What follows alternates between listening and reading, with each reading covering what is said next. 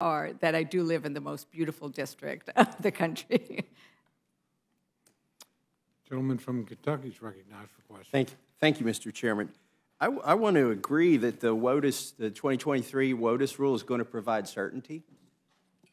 The certainty it's going to provide is if a drop of rain lands on your property, whether you have a, a stream or a river or a pond or not, the federal government is going to show up and tell you what you can and can't do by virtue of that water droplet, even a molecule of it appearing. That's eventually where we're going to end up.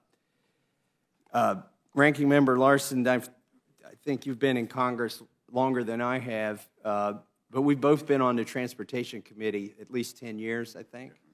Uh, and you're right. You said something in the beginning. This is, this is a game of ping pong, the WOTUS rule. There, was, there were rules under Bush, and then Obama came up with a different version of the rule. And then Trump came up with a different version of the rule. And now Biden's got his version of the rule.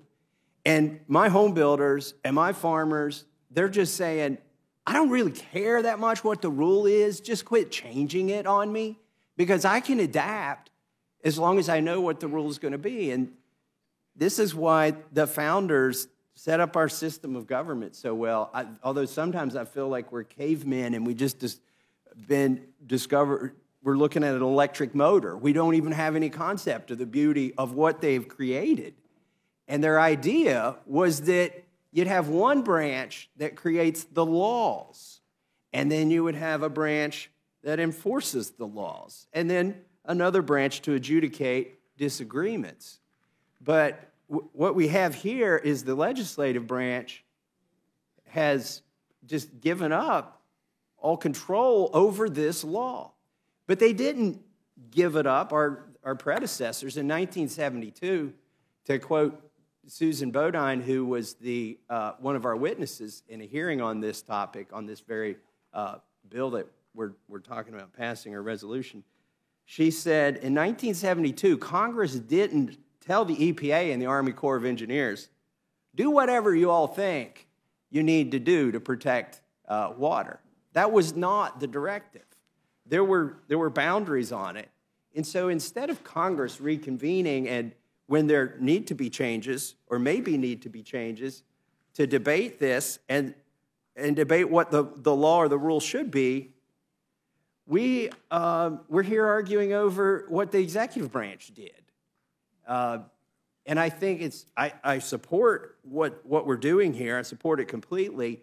Uh, which is to tell the executive branch, no, you can't have this new rule, uh, our, our constituents would be far better served if we followed the principle of we make the laws. Now, the, the minority, they were in the majority. You all had the, the, the committee of jurisdiction in, in both uh, lawmaking bodies, the White House could have made the changes that are in this and, and Biden's role that you uh, seem to like could have made those changes but did not. And I, and I wonder why um, those changes weren't made. There's, let me ask you, Mr. Larsen, because we, we were in the, uh, in the hearing again uh, together on this issue. Um, Ms. Bodine, who I've already quoted, she said something to me that was very concerning, and I want to know if you agree with her interpretation of the 2023 WOTUS rule or if you disagree with what she said. She said to support expanded jurisdiction of the 2023 WOTUS rule, the agencies claim isolated water can affect the integrity of navigable water.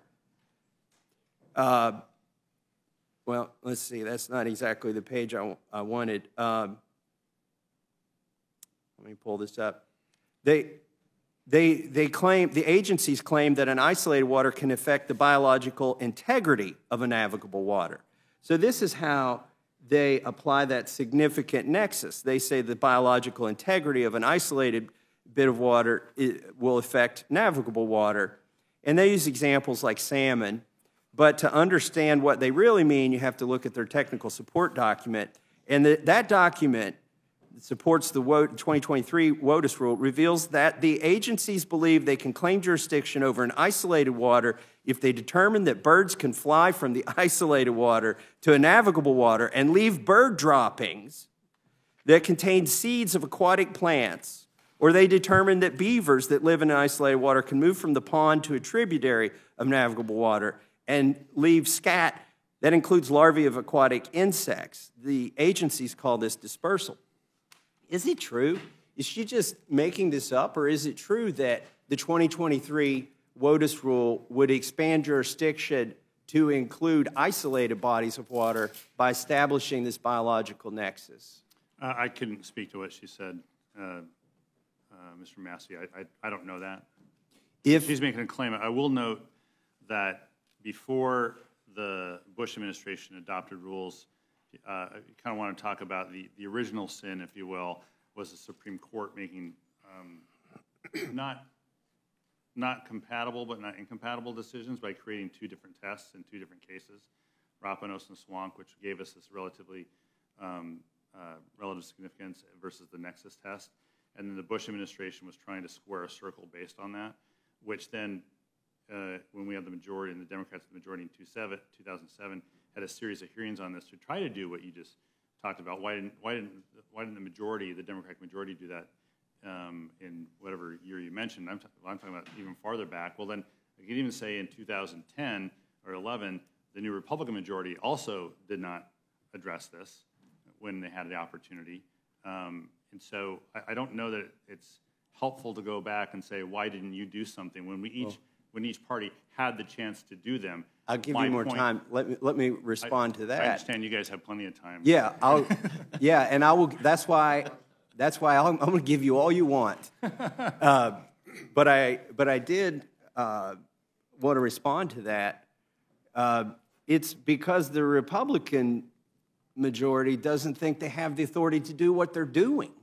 Not that we think they need more authority and that we would want to convene a meeting of this body and the other body and, and get a president to sign something to give them more authority. That's not necessarily, it's not my viewpoint. I can't speak for all of my party. But you make a fair point. So, so my, my, my basic point, Mr. Chair, is just this, that passing the CRA, passing this particular one to undercut the waters of the U.S. uh, rule, um, creates uncertainty. It's essentially kicking it to a Supreme Court, the same institution that started things in the first place, and uh, for better or for worse. It's not a criticism of the court, but that's where it started. My only, so my point is, if you want certainty, we should stop the ping pong game and get on with things. Um, but that's not going to occur, uh, in my view, um, with uh, action to pass this, this particular CRA. So- the Waters of the U.S. rule is about clean water. That's what we're trying to get to. This, let me get back to my question. So Ms. Bodine established that this water's, and here's, here's Uh, the. she, she testified to that. I don't know if she established anything. Okay, well, she testified, so I want you to comment on the veracity of her testimony. And if, and if we can't know what she said was correct or incorrect, then this thing's too fuzzy already. I mean, we are, the three of us here are on this committee. And if we can't even tell, then how's the Army Corps of Engineer uh, commander in Louisville going to interpret it? And how's the one in Huntington, West Virginia, going to interpret it? Because they both have jurisdiction in Kentucky. And uh, how is the EPA going to interpret it? How will the state of Ohio versus the state of Kentucky interpret it? Because this is the other problem we have. When, when we pass fuzzy law and then the regulators pass fuzzy regulations, it doesn't get applied evenly, even where the hydrology and, and the climate are similar. The rule becomes two different rules in two different states or two different Army Corps districts.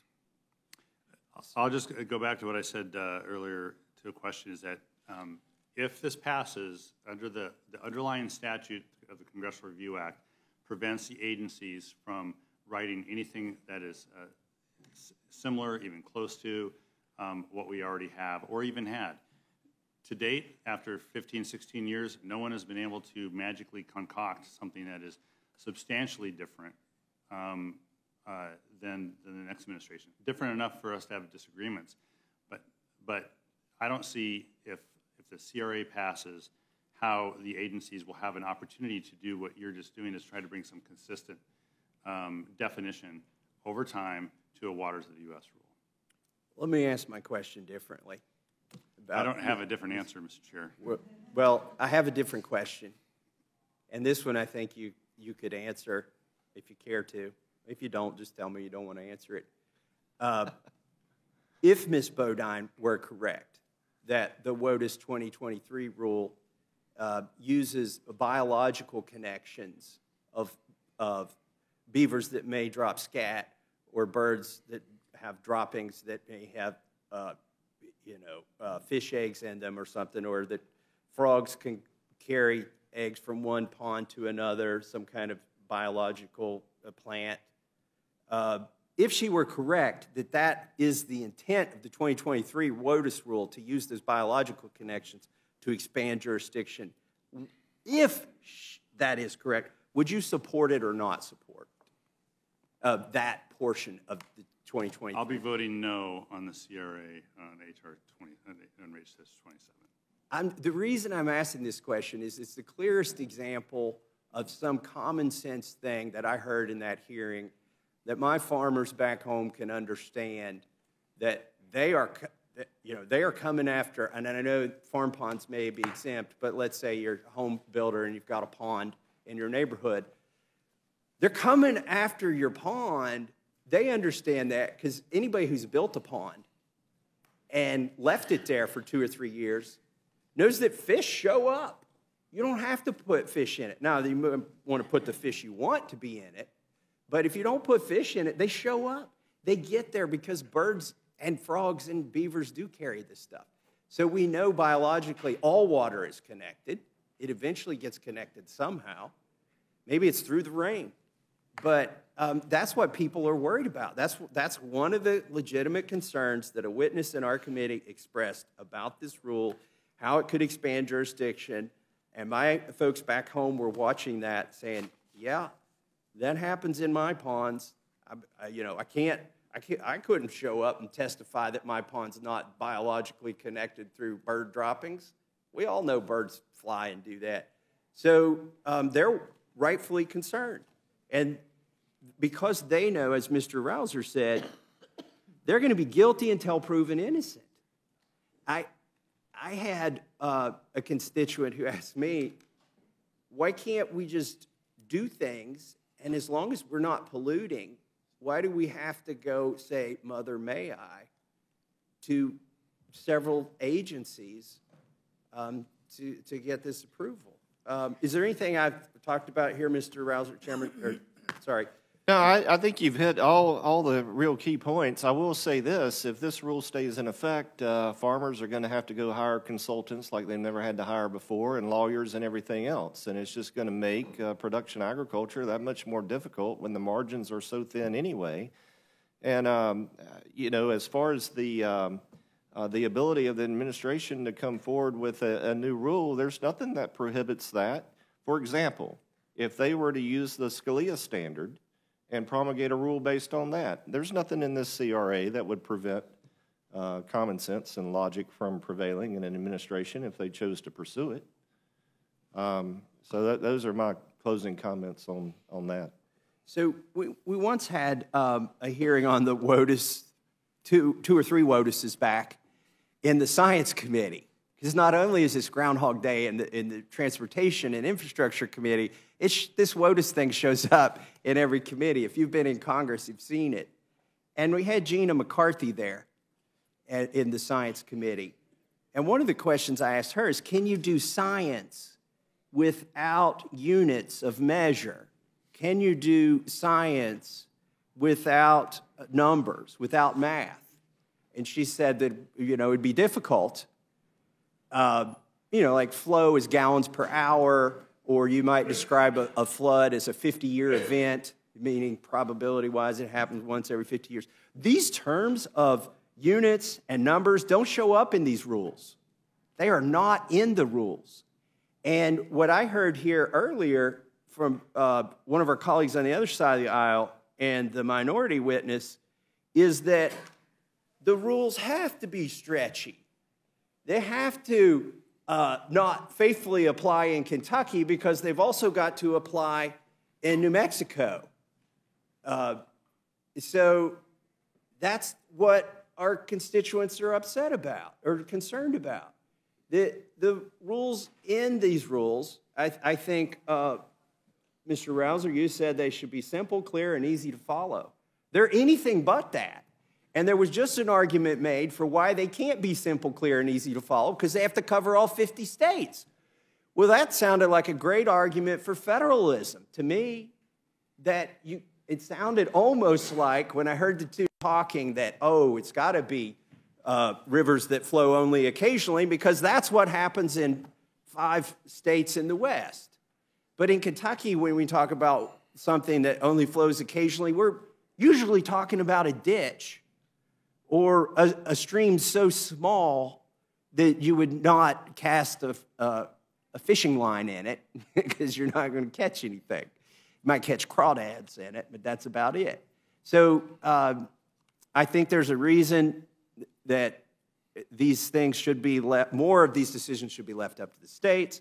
I think there's a reason that the definitions need to be clear, simple, and easy to follow. I think we've seen here today that we we don't even know exactly what this thing means. We got to wait for the EPA and the Army Corps of Engineers to start trying to implement this, and then we'll find out what was the date, Mr. Rouzer. This March 20th.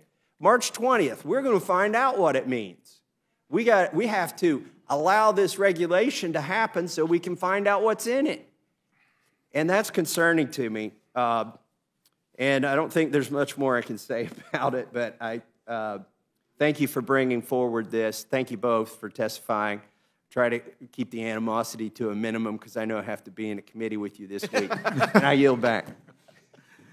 Gentleman from South Carolina is recognized for questions. Thank you, Mr. Chairman. Um, You know, this is real up close and personal with me.